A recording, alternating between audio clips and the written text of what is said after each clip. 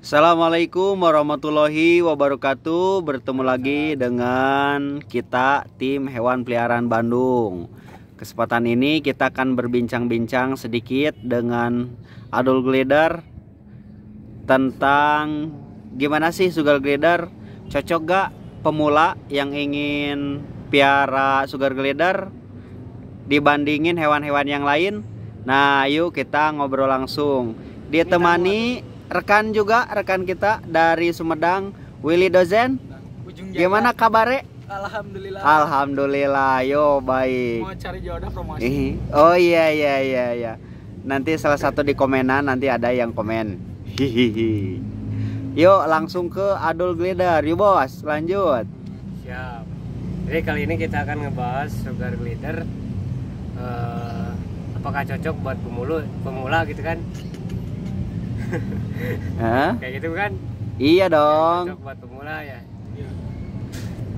Jadi gini bang, Oh gimana? gimana? saya kan pemula, Hmm. baru-baru pengen ingin memelihara sugar Ah, glider. Iya.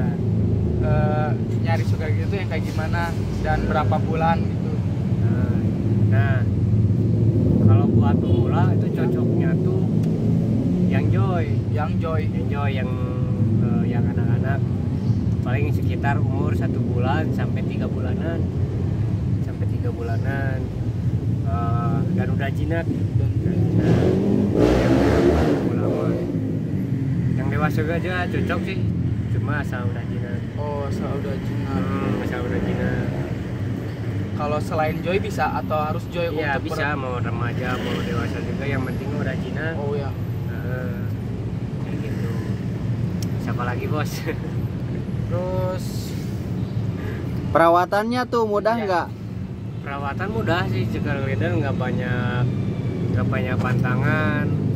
Terus eh, makanannya juga gampang lah mudah didapat.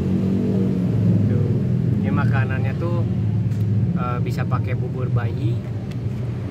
Bubur bayi buah-buahan nah, buah-buahan sayuran serangga ubi juga bisa jadi mudah lah. Pakannya juga mudah nggak ah nggak susah lah. Kalau untuk ngasih makannya itu sehari berapa kali biasanya? Kalau untuk pemula ngasih makan kalau buat ternak nih ya ngasih makan. Kalau sugar glider buat ternak mah cukup satu kali sehari. Oh, satu hari cukup sekali. satu kali sehari. Cuma kalau buat emang buat temenan buat temen gitu kan buat mainan Ya. lebih sering lebih bagus. Jadi sehari bisa tiga kali bisa empat kali ngasih makannya jadi biar lebih jinak biar lebih apa lebih bonding lebih nurut kepada kitanya gitu. iya lebih sering lebih bagus kayak gitu Kalau sugar glider tuh suka bau enggak sih? sugar glider nggak terlalu sih sugar Oh, glider nggak terlalu. terlalu bau kalau apalagi kalau dibandingin sama hamster tuh jauh lah hamster lebih bau kalau sugar glider mah nggak terlalu bau bisa diatasin Bisa di atas. Oh, jadi eh, si bawah kandangnya tuh bisa pakai serbuk. Serbuk, iya. biar gak bau bisa pakai serbuk bisa pakai pasir kucing Oh, gitu. bisa pakai koran. Cuma lebih bagus pakai pasir kucing bisa tahan sampai satu bulan. Kayak gitu. Pasir wangi ya. Seruang.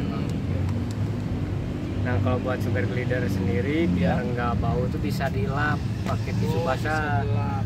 Nah, atau bisa dimandiin pakai air hangat sama sampo bayi Kalau sampo dimandi itu biasanya berapa? Seminggu sekali atau berapa? kalau sugar glider kan memang eh, apa dari alamnya juga kan jarang mandi ya. Iya, jarang jadi mandi. paling cukup satu satu bulan tuh satu kali aja. Oh, jangan terlalu sering. Cukup satu bulan satu kali. Kecuali kalau pakai tisu basah bisa sehari sekali seminggu dua kali atau bebas lah. Kalau pakai tisu basah mah aman insya Allah. Iya. kayak gitu nah kalau Kalau sugar glider kayak gini biasanya di cuaca dingin atau panas? eh, bagusnya mah yang dingin sih. Oh, dingin. lebih lebih bagus ke badannya biasanya lebih dingin. Lebih semok biasanya. Mau kalau di tempat yang dingin. Tuh bang W lebih semuk tuh. Suka ya semok-semok? Ah, eh ini bos ada yang nanya ini biasanya orang lain tuh cari pakan-pakan SG itu pakai susu, pakai cemilan-cemilan. Nah, itu wajib nggak tuh? oh enggak sih itu enggak wajib Oh, enggak Nah, ya. kalau dari makanan sendiri sugar glider itu bagusnya dikasih buah kasih buah biar Ah, sehat gitu atau iya. kalau sering dikasih buah tuh bulunya tuh bagus lebat lebih lebih bagus lah, lebih mulus pakai buah setiap hari lebih bagus tuh sama kalau serangga itu bisa bikin lebih gede lebih kuat badannya bagus. Cuma jangan terlalu sering kalau serangga. Soal- soalnya serangga tuh bisa bikin obesitas.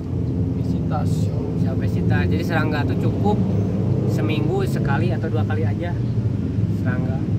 Nah serangga juga itu bisa bikin kotorannya lebih bau. Oh, gitu. Nah, jadi kotorannya bisa lebih bau kalau serangga. Jadi kalau buat mainan doang mah nggak perlu lah. Nggak wajib tuh serangga cuma kalau buat ternak wajib. Sehari eh seminggu bisa sekali atau dua kali kalau buat ternak. Oh iya iya iya. bagus tuh kalau buat ternak mah. Kayak gitu boleh Oke, sip, mantap. ada lagi gak berarti eh, nah sugar glider juga biasanya tuh suka buang air sembarangan tuh. Suka pup sama pip sembarangan nah cara mengatasinya lumayan susah. Gimana tuh? Susah-susah mudah lah mengatasinya.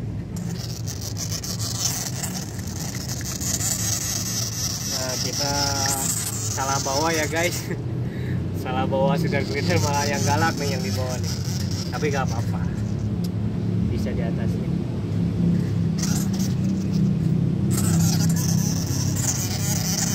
kalau masih coy juga kalau masih galak kayak gini mah belum cocok nih buat pemula nih. Nah cara mengatasinya biar nggak pupuk dan pip sembarangan sebelum dimainin di tangan tuh dimainin dulu di atas kandang. Ah, sampai pup sampai pip. Kalau tetap nggak mau pup dan nggak pip di kandang nih ekornya diangkat. Kayak gini. Lihat lihat guys. Jadi ekornya diangkat kayak gini nah sampai dia pup tuh nah kalau udah pup baru di tangan Oh iya iya, iya. sip. kalau biasa dimainin se- Iya, seperti iya. itu terus Oh.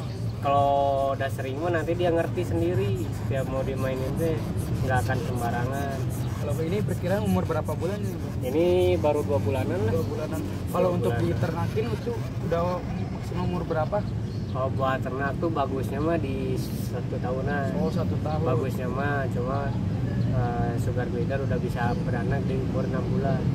6 bulan juga udah bisa beranak. Cuma kalau saya pribadi biar anak-anaknya berkualitas eh, di setahunan baru dikawinin kayak gitu.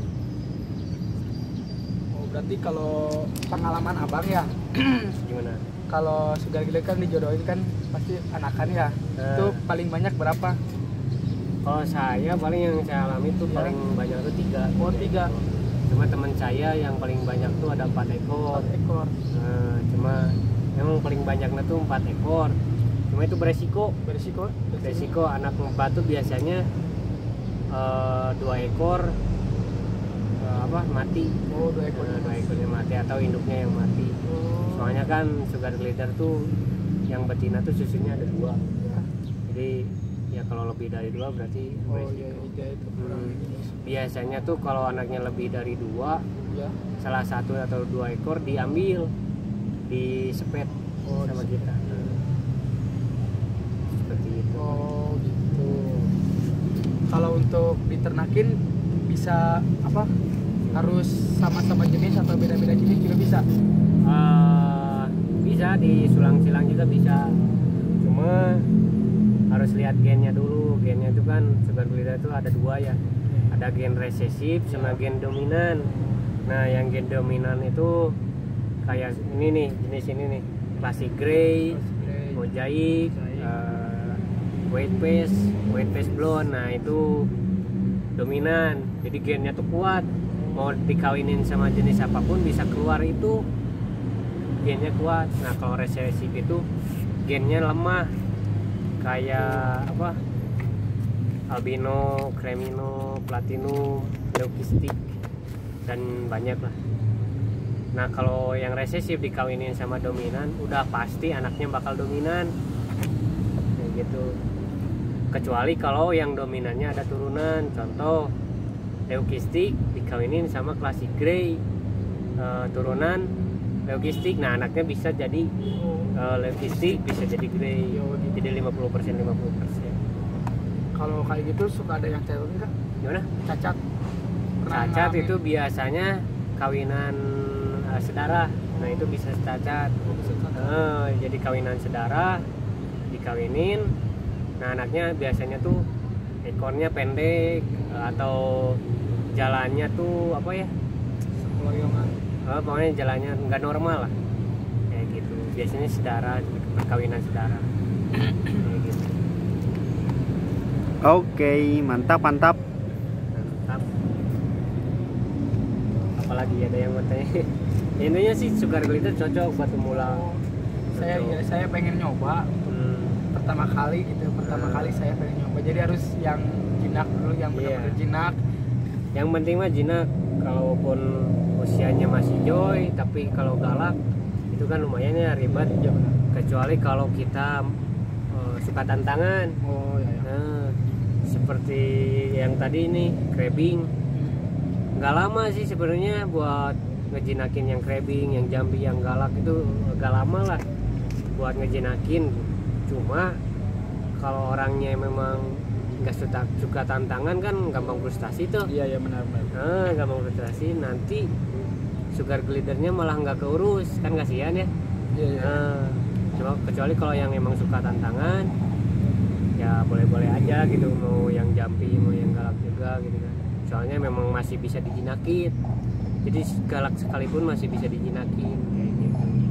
Asal ya tadi emang suka tantangan, emang mau ngambil resiko gitu kan boleh-boleh aja gitu.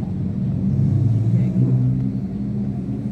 Kasihan kalau nantinya sampai gak keurus kan kasihan ya kecuali kalau belinya di sini di hewan peliharaan Bandung Oh guys tuh kalau Itu- belinya di iya. sini garansi garansi. iya kalau bosan atau gak keurus bisa kami beli lagi kayak gitu Mantap, mantap.